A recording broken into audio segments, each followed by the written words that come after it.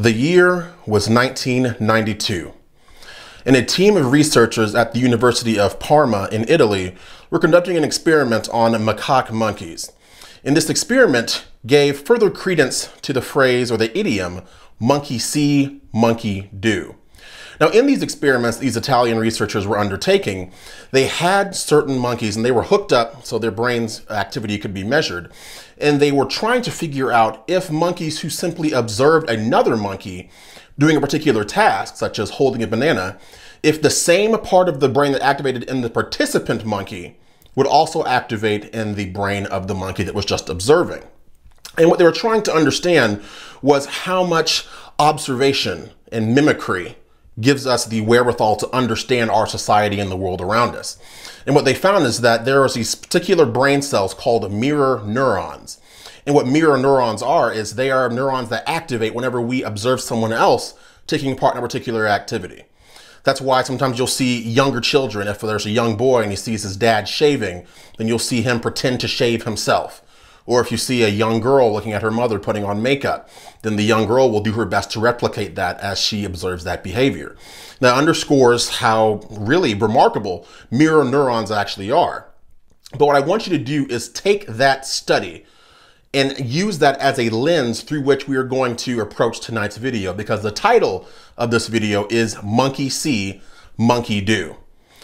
Now, what I want to do is talk about some certain recent events that have been going on here in America and around the world, but also establish a little more pretext and context as well.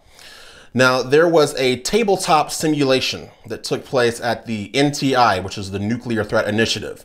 In this organization, this was in Munich that this took place. This organization has, of course, funding ties to Bill Gates.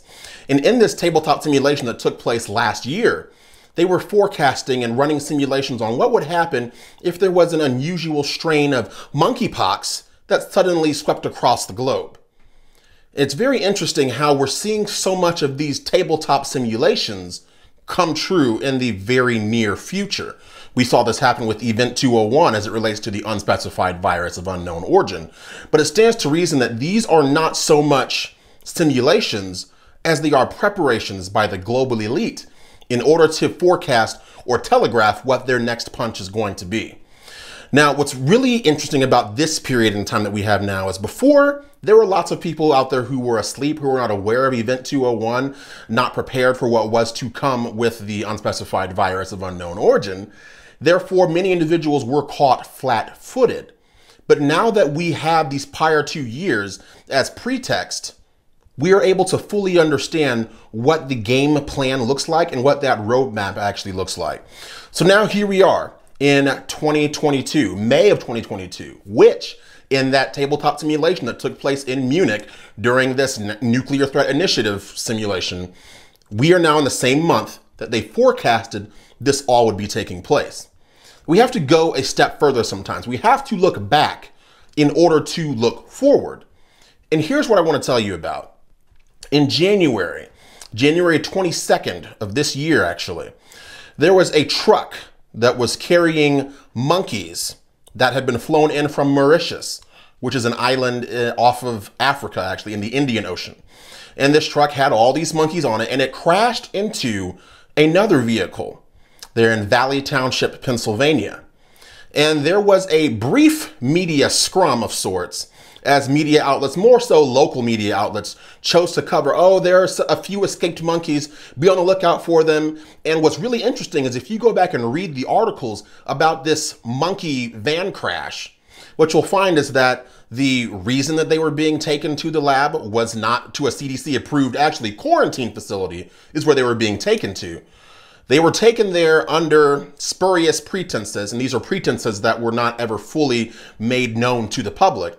And then when asked if the monkeys were diseased, the accounts of the individuals who were there say, oh, that information is not well known. And now we have this new monkeypox virus that seems to be sweeping the globe. And what I find very disquieting is that this is all taking place right on schedule. Now, if you remember my last video, Invisible Gorilla, we talked about how the media, the powers that be, will use certain events to divert your attention. What's really interesting is I asked many of you out there to go and watch the Invisible Gorilla experiment videos you can find on YouTube. And when you know what to look for, then obviously the experiment fails to hit home. But there's actually a second experiment that took place. And it's another invisible gorilla experiment. But in this one, obviously people are going to be looking for the gorilla in this case. So what's fascinating is if you go and find the second invisible gorilla video on YouTube, what you'll find is, yes, you might find the gorilla in this second video, but you fail to realize other things are taking place that you were not paying attention to. Now, why am I going back to the Invisible Gorilla video in this video, Monkey See, Monkey Do? It is because in that last video, we talked about the World Health Organization's plans to have a treaty of member nations that would assure future pandemic preparedness response. Now, this is very important because we talked about in the last video how the WHO or the UN or whatever global governing body they could simply make a recommendation to a country. You need to lock down preemptively or do this or do that or employ all of the same concepts that we just went through these past two years. And if we allow them to do that again, the joke is on us. The problem with society is, as these first two years, or these past two years actually, hit us directly in the face, is the fact that because people did not have a pretext for what was going on, Many, far too many individuals out there simply chose to continue to do whatever they saw other people do so as not to rock that boat. But here's where the monkey see, monkey do analogy ties back in. Just because you see someone else doing something does not mean that you too should partake, especially when you know that danger is coming. Humans naturally and innately, I don't care what the BLM side or Antifa individuals seem to indicate, humans have a higher level of cognition than primates do. Therefore, it stands to reason that just because our mirror neurons are firing, because we see someone else doing something, doesn't mean that we have to revert back to that subhuman category or state of being where you simply see another individual do something and they might get a reward for it too because that's how these experiments are taken out or are taken apart with the monkeys that we observe. The monkey notices that if they do a particular action, they're going to get a reward. So if you translate that and draw parallels between that and what humans see, a human might see someone putting on a, a face covering or they might see someone submitting to a jab or so on and so forth. Oh, and okay, um, now they got a reward. They got to go into this establishment or this establishment or do this or do that. So I want that reward too. And again, we are not subhuman primitive beings. We are able to easily recall the dangerous strings attached to compliance. Therefore, it is our duty to not comply. Let's go a step further. There is a company called Bavarian Nordic. And this company is the one that for many years, if you go look online, they've been working with the US government for many years to develop a smallpox vaccine. Kind of interesting, right? And the smallpox vaccine is oddly enough able to be used to combat this monkeypox epidemic, as it were, which is why the US government just purchased $119 million worth of this vaccine from this company, Bavarian Nordic. Side note, some of the largest shareholders in Bavarian Nordic, this vaccine company that now is magically spreading itself all over the world, the two largest or larger shareholders of Bavarian Nordic are Vanguard and BlackRock. If there's anything we've learned over the last several years, it's that nothing is a coincidence. But the powers that be, the media, are daring you to not pay attention to the information because it's coming at you so quickly. Now, what's really interesting about the vaccine that these this company, Bavarian Nordic, is producing for monkeypox or has been producing for smallpox is the fact that the US has another option down the road to purchase 180 million more dollars of this vaccine right? And this vaccine also has been shown to have application in immune compromised individuals. We've heard that phrase more than a few times over the past few months. It's no secret that we understand what is going on with these companies, but it's up to us to actually speak up against it and elevate our level of consciousness. Because when these companies have these moves they're making, it goes to show that the K in monkeypox is silent. This is about subjugating the collective whole of the globe while yet again enriching these organizations, these companies like Bavarian Nordic, which has shareholders being Vanguard and BlackRock, in order to further enrich those globalists, but force you to regress back into a state of lockdown. Let's go back to Monkey See, Monkey Do. One movie that I love watching is the 2011 Rise of the Planet of the Apes. And I'm making this analogy for very obvious reasons. Now, obviously, there's apes in this movie, and they do not have that higher level of consciousness. But the one main character ape, Caesar, he actually knows what's going on. He's trying to help his fellow brethren, his ape brethren, escape from this ape conservation facility that they're actually in. And one of my favorite scenes in this movie is when there is a very arrogant uh, ape handler, if you will, there at the facility. And he goes around and terrorizes the apes who just really don't know any better, but Caesar is aware of what's going on. So he observes and watches what the code is to release the apes from their captivity. And then what's really interesting is this one scene here where Caesar more or less has this moment, this moment of awareness. And the ape handler is screaming at him, telling him to get back in his cage. He's threatening him, threatening him, right? And then as this individual, this arrogant ape handler, goes to strike Caesar, Caesar uses words for the first time and says no. He's not going to do what this arrogant ape handler says. And then he proceeds to knock the ape handler out, frees his brethren, and they simply wanted to be free, be released from captivity. And they were successful towards the end of that movie. This is the 2011 rendition of Planet of the Apes. But here's what I'm talking about.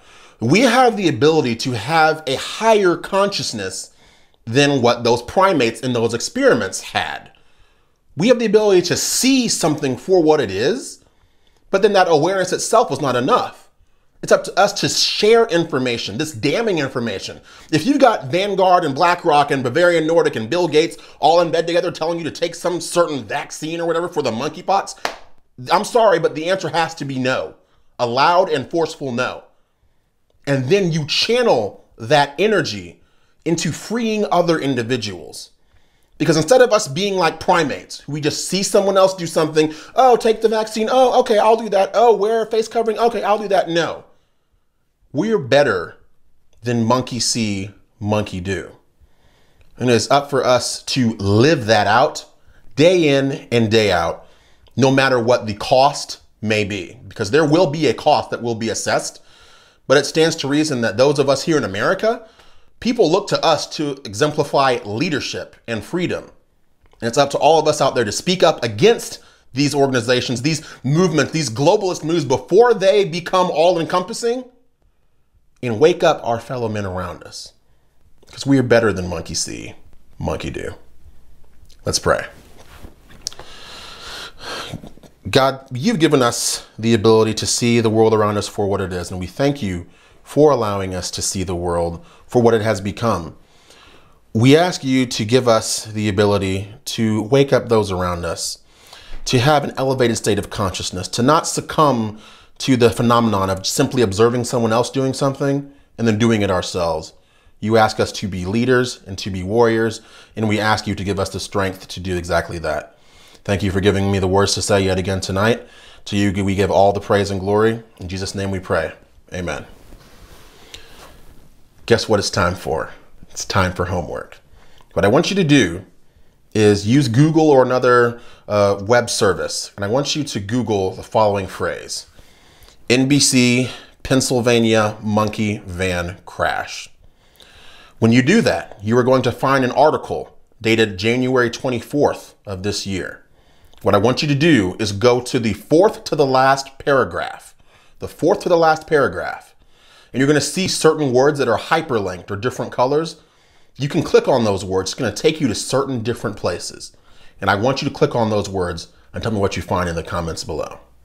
But thank you so much for watching. You know how it is. I'm Damani Felder. You can find me on Facebook, find me on YouTube, find me on Instagram, find me on Twitter, find me on TikTok, find me on Rumble, find me on Gettr, find me on Gab, find me on Telegram. The list goes on and on. I will still be there as long as I, my profiles are allowed to exist, giving you the information that you need to know. For those of you who are interested, you can also find me on my own website, damanifelder.com. You can use the tools there to help yourself and help other patriots at the same time. And then also, the last thing I'll ask you to do is to share this video with someone who did not know the information we went over tonight. Share this video, like this page, comment down below. It helps my engagement, and I will do everything I can to keep giving you the information that you need to know. But you know how it is here. End of the day, I love you all, and I appreciate you all, and I will catch you in the next one.